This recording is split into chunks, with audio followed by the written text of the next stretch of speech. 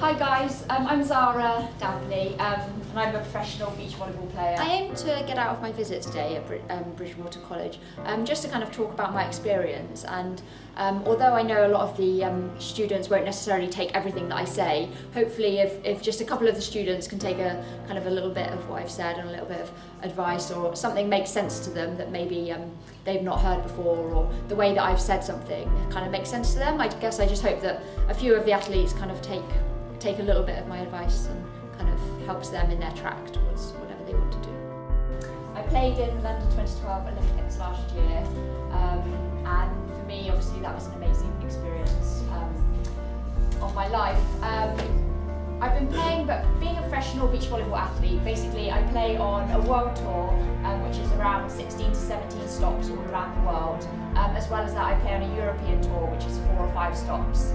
Um, so pretty much my summers spent competing all around the world. Um, she's just a great role model and like inspiration to go out and like have fun and achieve goals. Um, going week in, week out to different places, um, competing. So I know a lot of you kind of only really saw London 2012 and beach volleyball, especially there. But um, in terms of my journey to London 2012, that's kind of what I've been doing as a professional um, beach volleyball player for the last six or seven years. Um, obviously, it means a lot of time away from home. Um, we would go on warm weather training camps in Australia, New Zealand, um, during our win the winters here in England, and then we would be competing all throughout the summer, um, the summer months. So for us, we were kind of away 10, 11 months of the year, training and competing, with obviously ultimately the goal of London 2012. And to see someone who's an elite athlete and see like mainly hearing about her training, I think is really the inspiring part. Actually, have to get up every morning like really take up sport because I feel like it makes you feel really good.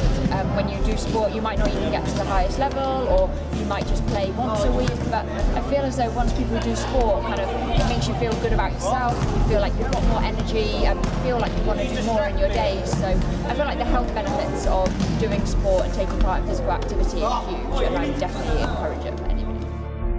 Um, but we didn't actually find out we were playing in London 2012 until literally um, a month before the tournament.